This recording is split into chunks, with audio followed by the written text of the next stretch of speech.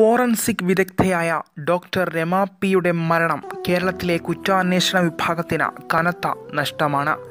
സങ്കീർണമായ പ്രധാന കേസുകളിൽ പോലീസിനെ സഹായകമായ നിരവധി ശാസ്ത്രീയ കണ്ടെത്തലുകൾ നടത്തിയ വിദഗ്ധയായിരുന്നു രമ. സ്ത്രീകൾ പൊതുവെ ഫോറൻസിക് രംഗത്തേക്ക് വരാൻ മടിച്ച സമയത്തായിരുന്നു രമ സധൈര്യം ഫോറൻസിക് രംഗത്ത് എത്തിയത്. കേരളത്തെ പിടിച്ചു കുലുക്കിയ നിരവധി കേസുകളിൽ നിർണായക കണ്ടെത്തലുകൾ നടത്തിയത്. അതിസങ്കീർണമായ കേസുകളിലും നൂറ് ശതമാനം വ്യക്തതയും സൂക്ഷ്മതയും കൃത്യതയുമായിരുന്നു രമയുടെ പ്രത്യേകത.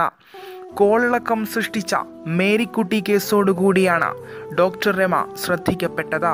മേരിക്കുട്ടിയുടേത് കൊലപാതകമെന്ന് തെളിയിച്ചത് ഡോക്ടർ രമ നടത്തിയ പോസ്റ്റ്മോർട്ടത്തിലെ കണ്ടെത്തലുകളാണ്.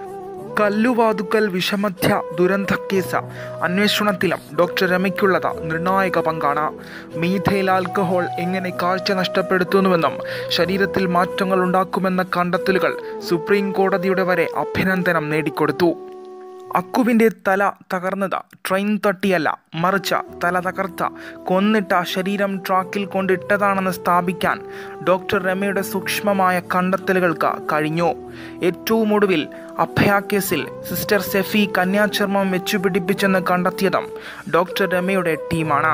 അഭയ കേസിൽ വീട്ടിലെത്തിയാണ് ഡോക്ടറുടെ നിർണായക മൊഴി കോടതി രേഖപ്പെടുത്തിയത്.